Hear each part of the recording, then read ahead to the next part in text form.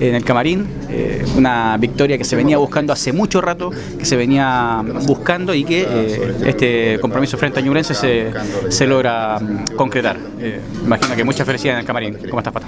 Sí, buenas tardes. Como tú bien dices, súper contento porque fue un, un triunfo súper trabajado que lo veníamos buscando hace bastante tiempo.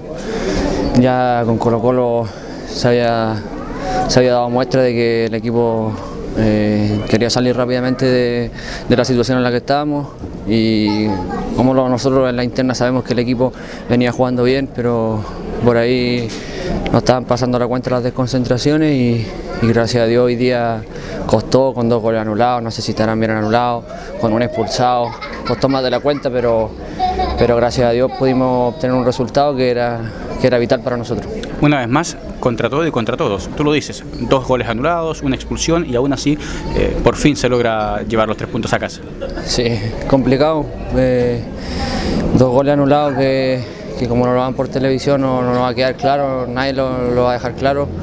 Pero nosotros sabemos que, que tenemos que luchar contra todo, contra todos. Así que nada, esperamos que este sea el, eh, el repunte del equipo y terminar de, lo mejor, de la mejor manera y, y dejar todos los, los puntos que quedan de aquí a- al- al final del torneo. Era un triunfo necesario, Pato, ¿no? Sí, era un turno necesario porque sabemos que, que la situación en la que estábamos, estábamos complicados, los resultados se estaban dando todas las semanas, si nosotros sumábamos podíamos de a poco ir alejándonos de la zona del descenso.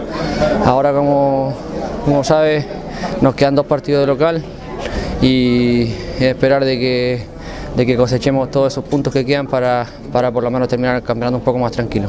¿Por qué lo gana hoy Cobresal? Yo creo que por, porque por la disposición de...